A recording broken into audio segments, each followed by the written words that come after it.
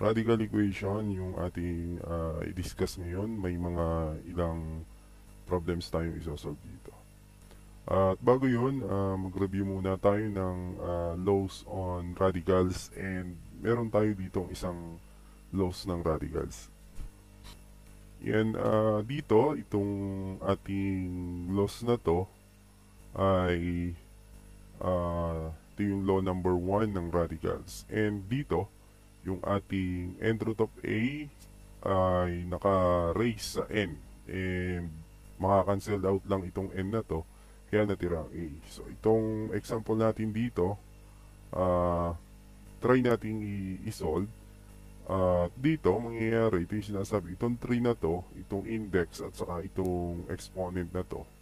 Nangyayari kasi, pag isinulat natin yan sa rational exponent is magiging 3 over 3. Or, ito ay equivalent na sa ah, 5 raised to 1. And alam natin na pag ra- 5 raised to 1 is 5. Or yan, pwede nga yan sabi ko, kakanselin na lang, ang matitira yung radicand sa loob, kaya ang sagot ay 5. So yun lang, ganun lang yun, nireview lang natin. At next tayo dito sa ah, radical equation. Ah, to solve a radical equation, arrange the terms of the equation so that one term with radical is by itself on one side of the equation. Number 2, square both sides of the radical equation. 3. Combine similar or like terms. 4. If a radical still remains, repeat step 1, 2, 3.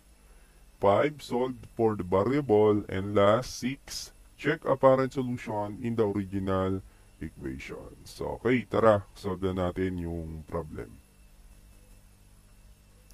Example number 1, we have here na uh, square root of x plus 3 minus 1 is equal to 7. So, first step natin dito, uh, ayan, makikita natin dito, ah, dito mangyayari, combine muna natin yung like terms.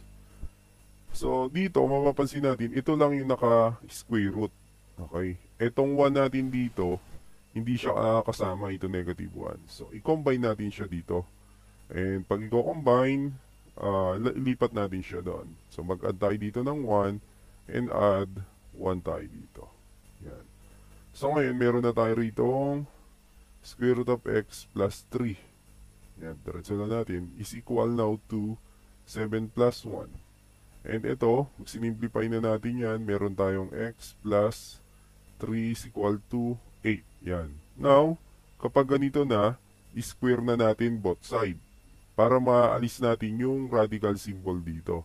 I-square natin yan. So, syempre, ginawa natin sa left side, gawin din natin sa kanan. Square din natin yan.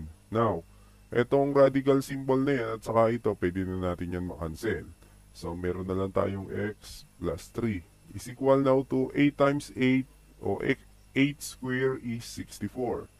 Then, same procedure tayo. Ah, combine like terms tayo. Lipat natin si 3. Okay? Sa negative 3 tayo and negative 3 tayo dito. Now, meron na lang tayo dito, maka-cancel na yun. x is equal now to, ah, okay, 61. Kasi minus natin yun. So, x now is equal to 61.